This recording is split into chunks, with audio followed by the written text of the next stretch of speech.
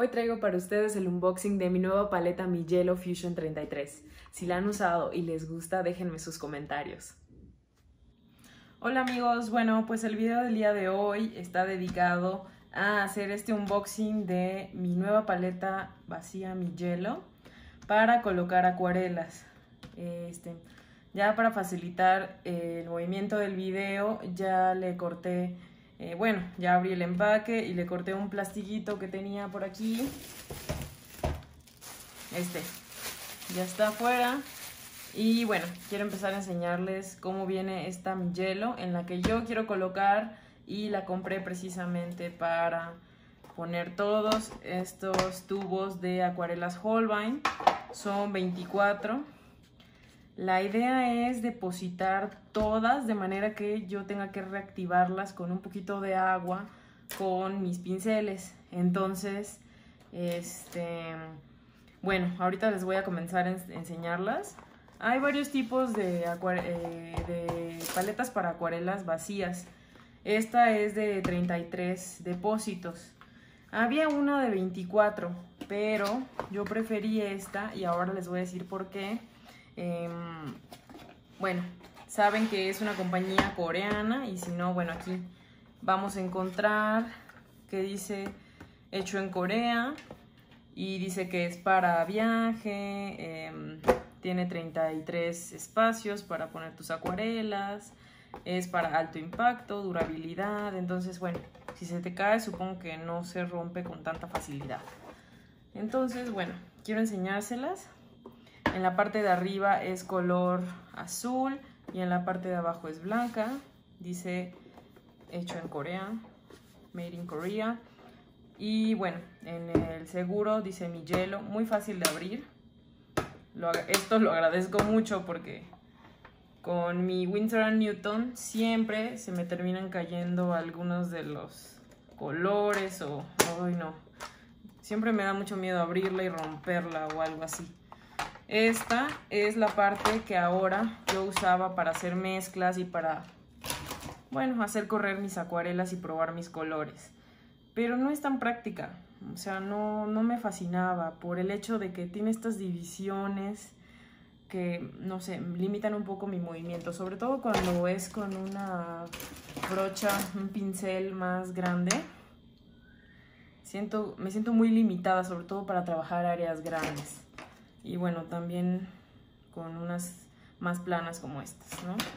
Entonces, sí, es muy complicado estar retirando siempre y depositando el color, además de que siento que desperdicio más, porque por ejemplo aquí puse unos dos colores y bueno, sí la puedo reactivar, pero estas manchas tendría que quitarlas para poder disponer otra vez de esos espacios. Generalmente trato de poner los colores cálidos en la parte de arriba y abajo los, los fríos, pero bueno, siempre termino regando todas mis pinturas por acá. Entonces no es nada práctico para mí.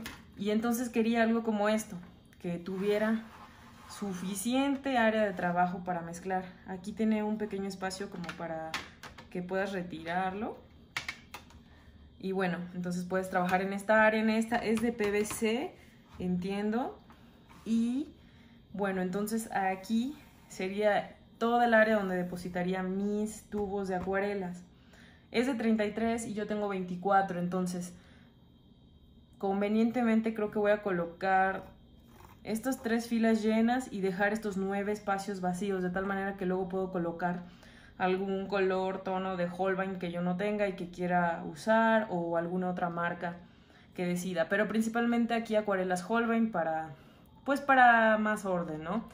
Adicionalmente también compré un set de 36 colores Mi Yellow Gold Mission, este, que ya deben estar por llegarme la próxima semana. Entonces, esa paleta tiene eh, una configuración de dos Cs o una B o una E al revés. Y bueno, aquí trae unas áreas como para hacer mezclas, al igual que estos dos depósitos. Entonces, sí, eh, inicialmente había considerado comprar esa paleta que trae 24 espacios exactos. Pero el problema es que si eres de las personas que les gusta lavar, incluso limpiar bien tus, tus áreas para mezclas, ya no lo podrías hacer teniendo este espacio para mezclas alrededor todos tus colores, porque bueno, finalmente ya estás ocupando el espacio de los colores y esas acuarelas son acuarelas que no, colores que no vas a tirar para lavarla, ¿no? Entonces, la razón principal por la que eh, se depositan tubos de acuarelas en este tipo de paletas, para mí es porque estos depósitos, este es un medio depósito de la paleta Winsor Newton de 45 entonces, ¿qué pasa? Yo quiero trabajar de pronto con un pincel más grande, ¿no? Con una brocha, podría decirse. Y bueno, tomar color de este depósito para nada se me facilita. Además de que la paleta Winsor Newton es muy impráctica para eso. Estas cositas siempre se están moviendo, se están cayendo.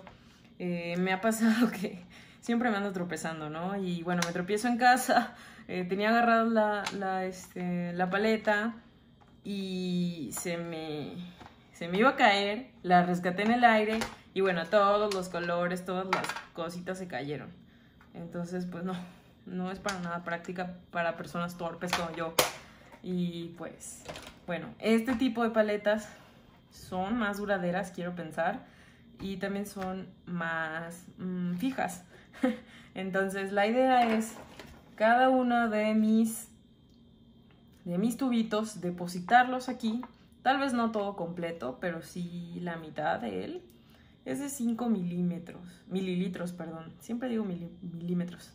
Es de 5 mililitros, entonces yo creo que casi toda sería el depósito aquí, considerando que las medias pan son de 2.5 mililitros. Entonces sí, depositaría la mayor parte de este tubo, guardaría lo demás y entonces esta área que es de 2 centímetros por 3 aproximadamente, pues ya me permitiría trabajar mucho mejor con pinceles grandes. Incluso con los, con los planos, ¿no? Y por supuesto con los redondos. Entonces, sí, estoy muy satisfecha con esta compra. Este plástico no se ve tan duradero, les quería enseñar.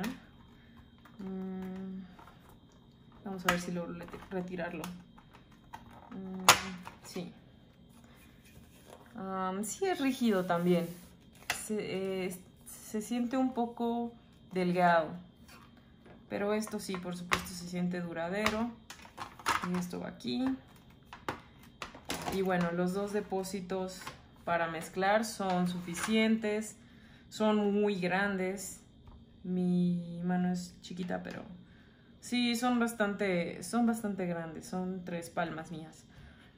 Entonces, sí, son como de 30 centímetros por,